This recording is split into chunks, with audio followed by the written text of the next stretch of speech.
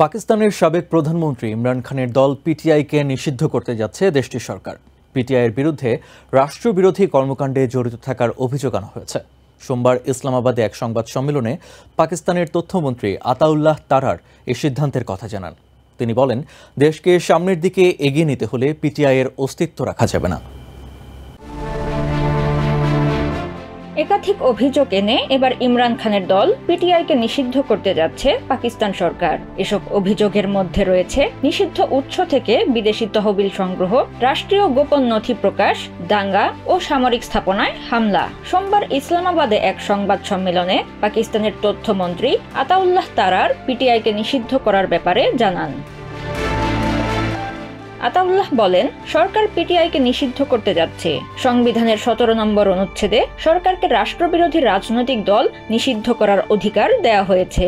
বিষয়টি এখন সুপ্রিম কোর্টে যাবে। এরপর সুপ্রিম কোর্ট এ বিষয়ে চূড়ান্ত সিদ্ধান্ত নেবে।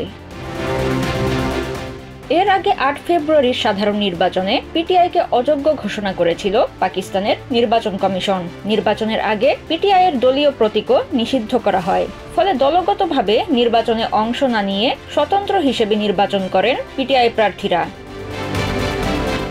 যথেষ্ট ভালো ফল করলেও নির্বাচনে কারচুপির অভিযোগ আনে পিটিআই। তাদের অভিযোগ, নির্বাচনের পর পিটিআইকে সংরক্ষিত আসন দেয়া হয়নি। তবে গত শুক্রবার পাকিস্তানের সুপ্রিম কোর্ট জানায়, পিটিআই দল হিসেবে যোগ্য। তারা বিশটিরও বেশি সংরক্ষিত আসন পাবে। এমনটি হলে পিটিআই দেশটির পার্লামেন্টের নিম্নকক্ষ সাধারণ পরিষদে একক দল হিসেবে সংখ্যাগরিষ্ঠতা পাবে। এতে দেশটির বর্তমান জোট সরকার চাপে পড়বে। এই প্রেক্ষাপটেই পিটিআইকে নিষিদ্ধ করার তোড়জোড় চলছে বলে ধারণা করা হচ্ছে।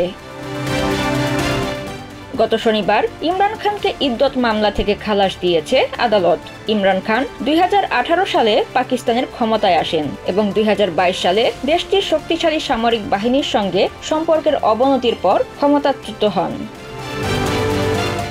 Najmun Nahar TVN twenty four, news desk.